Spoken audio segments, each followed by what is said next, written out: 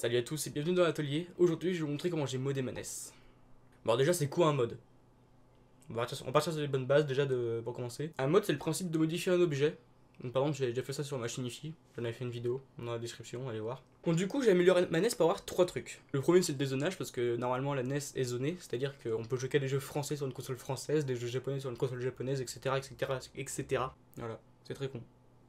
Surtout qu'il y a des jeux cool qui sont sortis au Japon et pas en France. Genre. Euh... Je sais pas. Euh, putain, j'en avais un, j'ai oublié. Bah, Final Fantasy. Voilà, déjà. Je sais pas s'ils sont sortis sur NES, les premiers. Le deuxième mode que j'ai mis sur ma NES, c'est une nouvelle sortie vidéo. Parce que, disons que sortie par défaut, euh, c'est un câble propriétaire. Voilà, donc euh, acheté avec. Euh, avec la console. Donc, t'as la prise là, avec à l'autre bout une Péritel. Parce qu'on est en France. Par exemple, si tu vas la console allemande sur le côté, tu as une prise RF, en fait. RF pour le, tu sais, coaxial, les prises d'antenne. Et donc du coup, euh, aux États-Unis, ils ont, mis le RCA, donc la prise euh, jaune. Au Japon, ils ont utilisé du RF, je crois pour la, Famicom. Après, ils sont passés un petit peu à du, euh, non non, c'est du RF, mais il y a des modes aussi pour mettre en composite. Et donc nous, en France, on a eu le droit à la Péritel. Enfin, on a eu le droit, c'est juste que une loi disait que tu devais, quand tu étais un constructeur de télévision, tu étais obligé de mettre une, une entrée Péritel. Sauf que le problème, c'est que la NES, c'est une console composite. Donc du coup, c'est pas le même signal. Du coup, il faut le convertir. Et c'est tellement, mais tellement dégueulasse. Et donc du coup, le, but du mode est de remettre un signal composite. Et donc pour finir, le troisième mode que j'ai fait, c'est que j'ai remplacé le connecteur d'alimentation. Parce qu'en fait, la NES que j'ai eu, je l'ai acheté sans câble. Parce que je me suis dit, ouais, les câbles c'est plus facile à trouver, t'as vu et tout. Le souci, c'est que j'ai vu le, prix du câble juste vidéo, ça coûte 30 balles. Du coup, j'ai remplacé ma prise d'alimentation par une prise USB. USB-B d'imprimante en fait, c'est les, les, câbles imprimantes. Donc en résumé, j'ai dézoné la console, ajouté une sortie vidéo et j'ai ajouté une, une, entrée alimentation. Maintenant on va passer à la pratique pour vous montrer comment on fait tout ça. Alors pour tous les modes que je viens de vous citer, je vais les mettre dans la description. Voilà, donc euh, en fait c'est une compilation de modes en gros que j'ai fait. Alors maintenant je vais vous montrer les outils qu'il va vous falloir pour euh, euh, faire tous ces modes. En premier lieu, il va vous falloir un tournevis cruciforme de taille normale. Toutes les vis de la console sont cruciformes. Et si jamais vous savez pas où les foutre, quand vous retournez la console ici, vous avez un petit cache en fait. Vous appuyez sur les deux côtés et vous avez euh, une sorte de petit bac. En fait, à la base, c'est pour euh, un connecteur d'extension qui n'a jamais été fait. Pour démonter la coque, il y a 6 vis, 3 en bas, 3 en haut. Vous retournez la console et vous enlevez le cache. Facile. Ensuite, vous allez dévisser la protection en métal ici. Donc, vous avez deux vis sur le côté, euh, deux derrière et trois ici. Donc, une là, une et une derrière le petit pot en métal. Puis vous le retirez. moi je vais les petits câbles que j'avais bien calés. Alors je vous rassure, hein, si, votre, console n'est pas modée, il n'y a pas tous les fils là. Hein. Il y a juste rien du tout à la, place. Ensuite vous allez démonter le, lecteur de cartouches. Donc voilà. Je peux faire jouer avec, ça longtemps. Donc pour ça, oui, il y a encore 6 euh, vis. Il y en a 2 sur le devant ici et 4 derrière. Attention, derrière, alors c'est toutes les mêmes vis pour la console sauf 2. Toute la console est dotée de vis euh, dorées, je dirais qui sont partout, sauf à un seul endroit. Sur les quatre extrémités du lecteur de cartes, c'est euh, dédoré. Juste après l'arrière des vis, c'est deux vis plus longues et elles sont euh, argentées. Une fois que ça c'est fait, on prend le lecteur de cartes, on le lève un petit peu et on le tire vers l'avant de la console. Une fois que ça c'est fait, on peut, prendre toute la carte mère, euh, même la, la, protection en métal en dessous. Attention, les connecteurs à l'arrière, vous levez, donc vous levez vers l'avant et puis après vous ramenez vers vous. Et voilà. Donc vous retenez la carte mère, vous débranchez. Ici vous avez trois connecteurs, donc là vous avez le connecteur pour euh, les boutons de façade. Et là vous avez les deux connecteurs pour les manettes. Vous les débranchez. Je, me démerde comme je peux, ok? Et une fois que c'est fait, on peut retirer la protection en métal. Et le dernier truc qu'on va retirer, c'est ce, ce petit adaptateur. Voilà. Et c'est tout. Maintenant la console est démontée, et voici la carte mère. La, seule et unique carte de la console d'ailleurs. Le petit bloc que vous voyez ici, c'est le bloc euh, qui est propriétaire à chaque pays. Ici, c'est écrit FRA pour la France. Le dézonage. C'est le truc le plus simple du monde. Pour ça, il va vous falloir un fer à souder. Pas un fer à souder de ouf non plus. Mais par exemple, un fer à souder genre de, gros métaux, c'est mort. Il m'a coûté 15 euros, je crois. Avec euh, de l'étain et tout euh, fourni avec. Et donc, dézoner, c'est le truc le plus simple du monde.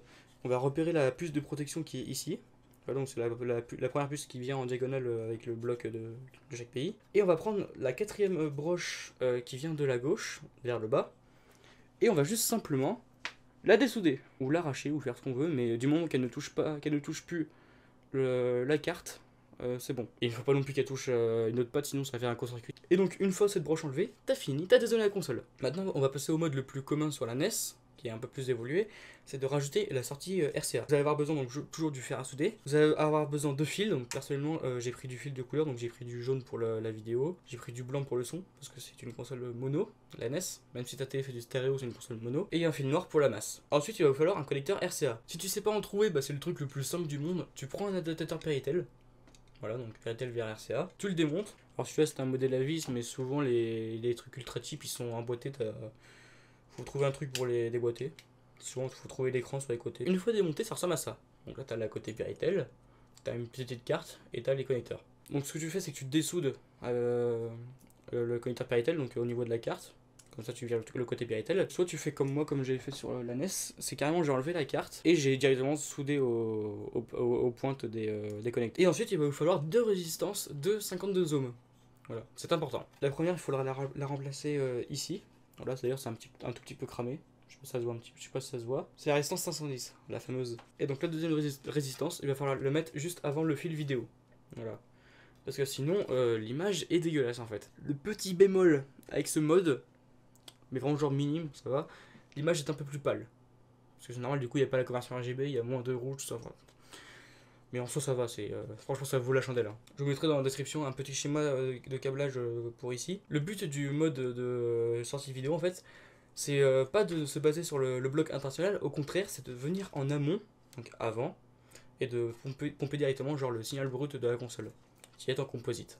Ça c'était pour le mode vidéo. Maintenant le mode USB. Euh, on se sert toujours de la lignée des 5 broches et on va simplement relier en partant du connecteur ici. On va, on va relier avec de la soudure, fil ou tout ce que vous voulez, euh, les broches 3 et 4. Alors soit ce que vous faites c'est comme moi vous le reliez, ou soit, ce que je voulais faire à la base, mais bon, j'ai pas pris d'interrupteur, si je l'ai pas fait parce que la flemme, vous prenez un, interrupteur, euh, vous, le, vous reliez les deux broches à un interrupteur, donc euh, soit euh, levier genre au, au bas, ou poussoir genre enfoncé, pas enfoncé. Et du coup, ça va permettre un truc qui est pas déconnant, c'est de pouvoir utiliser toujours le, le connecteur original d'alimentation. D'ailleurs, avec la sortie vidéo, le connecteur original est toujours utilisable, mais est toujours aussi dégueulasse. Et donc sur la cinquième broche, la dernière, on va venir prendre la phase du, euh, de l'USB. Donc il y a toujours schéma dans la description, tout ça. Allez voir sur le site euh, du mode USB. Et après, le, je relier donc le neutre euh, de l'USB à une masse qui est à côté. Alors c'est bien cool, j'ai modifié ma NES, tout ça, mais le problème c'est que je fais comment pour le brancher? Parce que du coup, tout, va rester dans le boîtier. Toujours dans les liens sur la sur chaque mode, en fait, ils vont vous montrer bah, comment mettre sur le boîtier, tous euh, les connecteurs. Moi, je l'ai pas fait parce que le seul outil que j'ai pour percer des trucs, c'est une perceuse. Et franchement, encore quand je l'avais fait sur la chaîne ça allait parce que c'était du bois, euh, c'est des connecteurs RCA, c'est rond donc ça passe. Pour le RCA, ça peut passer à la limite. Par contre, pour l'USB, c'est mort, c'est carré donc voilà. Pour ça, il va falloir un Dremel en fait, c'est une sorte de scie circulaire mini, on va dire. Dire, c'est un truc qui se branche, qui se met à la main, qui est une batterie ou un fil et euh, vous pouvez choisir, le, vous avez plusieurs tailles de disques de diamètre et puis vous pouvez tailler dans le, plastique, dans le métal, dans tout ce que vous voulez. C'est pratique, mais ça coûte cher, donc euh, j'en ai pas. Donc, du coup, oui, j'avoue, c'est chiant de toujours démonter la console ou alors vous faites, je sais pas, un petit trou. Euh. Ou alors ce que vous faites, c'est que vous prévoyez directement avant de souder tous les fils, ce que je n'ai pas fait. Entre le connecteur d'alimentation et le plastique en fait il y, y a un trou en tout cas on peut passer tous les fils et donc ils, sortiront à l'extérieur bon ils sortiront en vrac tout ça mais voilà c'est une solution pour dépanner bon voilà je suis content j'ai fini ma NES on va voir ce que ça donne. Alors il y a un truc que j'ai oublié de dire tout à l'heure, c'est la consommation de la NES. Parce qu'en fait, euh, sur le bloc d'alimentation et sur l'étiquette en dessous de la NES, c'est écrit que ça consomme 1,3 ampères. Donc en toute logique, il faudrait un chargeur USB qui fait plus de 1,3 ampères. Le truc, c'est que c'est pour du 9 volts alternatif, parce que ce qui rentre dans la console, c'est du 9 volts. Avec le 5 volts continu de l'USB, tout ça, euh, et ben 500 mAh, ça suffit largement. Et 500 mAh, c'est le minimum euh, qu'impose la norme USB. Donc du coup, je peux brancher ça sur n'importe quel truc USB, ça marche direct. Pour tester le dézonage, malheureusement, j'ai pas de jeu euh, étranger. C'est con, mais par contre, euh, c'est trop facile de le savoir. Et lorsque je vais allumer la console sans jeu, elle va clignoter en boucle en gros. Ça veut dire il n'y a pas de jeu ou le jeu n'est pas officiel, donc euh, je te laisse pas démarrer la console. Maintenant, avec la version modée de la console, et quand je l'allume, elle ne redémarre pas en boucle pour bloquer le jeu. Elle reste normale, du coup c'est à dire que le jeu n'est pas bloqué. Donc euh, je crois que jeux même non officiels ne passe. Et du coup euh, tu peux jouer aux jeux étrangers sur ta console. Lorsque tu démarres ta console sans jeu ou alors que la cartouche est mal branchée et qu'il y a un écran gris, 95, euh, 98%, ouais, on va dire 100% des cas, c'est euh, la NES modée. Ensuite pour l'alimentation, bon bah c'est simple, hein, la console est modée, marche très bien. Donc là actuellement elle est branchée sur la télé, on va- y a un port USB sur la télévision, on peut mettre des clés, tout ça, voilà ça marche. On peut le mettre sur un chargeur de téléphone portable si on a envie, on peut le mettre sur euh, un ordinateur si on a envie. Et même pourquoi pas, on fait le fifou, on prend une batterie externe, et True Story ça marche vraiment. Genre j'aime la console, et voilà. Et maintenant passons voir à la qualité des mages, parce que franchement c'est pas déconnant. Donc je vais mettre un jeu de merde dans la console, là je vais mettre sur l'officiel, j'allume, et c'est pas la bonne sortie vidéo. Voilà l'image C'était pas magnifique Donc là nous avons un beau damier de vert, de orange foncé, de orange clair, avec de belles couleurs qui battent mais qui sont pas vraiment blanches. Alors là j'ai du un mix de vert, de orange, de jaune, c'est chelou un peu, et puis c'est pas net. C'est absolument dégueulasse. Maintenant, avec la version modée, mais d'un coup, c'est beaucoup mieux. Genre, c'est déjà c'est tout uniforme, ça déborde pas au niveau des lettres, tout ça, ça se voit beaucoup mieux sur Super Mario Bros 1. Ouais, franchement, c'est beaucoup mieux. Bon, après, ça reste du composite, c'est de la merde, mais, mais franchement, là, là tu fais putain, c'est bien. C'est bon, les modes fonctionnent, mais il y a quand même quelques petits bonus non négligeables. C'est le fait que la sortie vidéo de la console modée fonctionne toujours. Donc là, je vais prendre le câble Péritel et je vais le brancher dans la console modée. Quand ça déconne comme ça, c'est que la cartouche est mal enfoncée, mais là j'ai pas le cache du dessus, du coup ça guide pas bien. Enfin, donc là je suis, je suis sur la sortie composite, donc ça se voit parce que c'est propre. Par contre, dès que je passe en Péritel, c'est moins dégueulasse. Là c'est un peu moins dégueu. Si je débranche la vidéo, ça fait quoi Ah, ça améliore l'image, ouais. Parce que du coup, il a, pas à faire deux sorties vidéo en même temps. Du coup, ça reste toujours aussi dégueulasse. hein. C'est la, sortie vidéo originelle. Autre bonus, la NES est, est une console mono. C'est-à-dire qu'elle elle ne produit du son que d'une seule enceinte. Le truc, c'est que toutes les télés d'aujourd'hui, ouais, toutes sauf les écrans plats, genre avec les enceintes derrière, tout, ça dépend, elles sont stéréo. Donc il y a deux enceintes.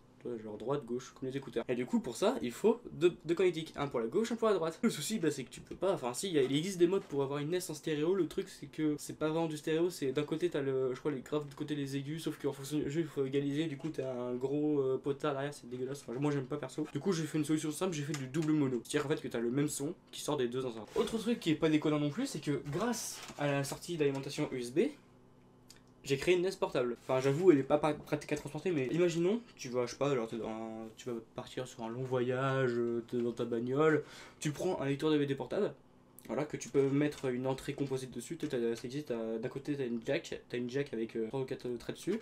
Et euh, après, c'est un décupleur qui va vers euh, bah, le DRCA euh, Cinch et euh, Composite. Et du coup, tu peux brancher une console dessus. Le truc, c'est que bah, la NES, elle a pas de batterie. Sauf avec le mode USB, prends ton câble USB euh, B et tout, tu mets, tu peux jouer dans ta bagnole, tu peux jouer où tu veux, c'est nickel. Et du coup, aussi, le truc qui est pas déconnant, c'est que tu peux brancher sur ta télé quoi. T'as toutes les prises, euh, t'as multi-prises en bas qui sont prises, bah tant pis, hein, c'est pas grave, ça marche quand même. Le dernier truc bonus de la console, c'est que maintenant, c'est une console internationale. C'est-à-dire que tu peux euh, aller dans n'importe quel pays, tu lui demandes un chargeur ou tu prends même le tien, tu prends un, adaptateur pour la forme de la prise, mais ton chargeur euh, fonctionne nor- normalement parce que si je vais prendre un chargeur qui par exemple par exemple si je prends le chargeur de mon téléphone quelque part c'est écrit les spécificités de- du chargeur avec ses tensions et tout ça voilà donc là c'est écrit input 100-240 volts ça veut dire qu'en entrée il peut recevoir 200 volts jusqu'à 240 volts. Aux États-Unis et au Japon, la norme c'est 110 volts et nous c'est 230 volts. Ah, Via un adaptateur simple euh, avec le changement de forme de prise, et bah il fonctionne dans tous les pays. Et du coup, tu prends un adaptateur de chargeur et tu branches ton, ton, ton chargeur de téléphone à la NES. Et tu peux aller dans n'importe quel pays, ça marche. Et du coup, vu que maintenant tu n'as plus de Péritel, et bah tu peux brancher ça en RCA sur n'importe quelle télévision internationale, vu que toutes les télés ont du RCA. Enfin, plus pour très longtemps, parce qu'ils vont bientôt être tout en, nu- en numérique, mais voilà. Tu peux aller, genre, je sais pas, euh, aller aux États-Unis euh, sur une vieille télé, euh, une vieille télé composi- composite, et bah ça passe quand même. Bon, bah je crois que c'était tout ce que j'avais à dire sur le mode de la NES. Créer des trucs, c'est très sympa. À prochaine.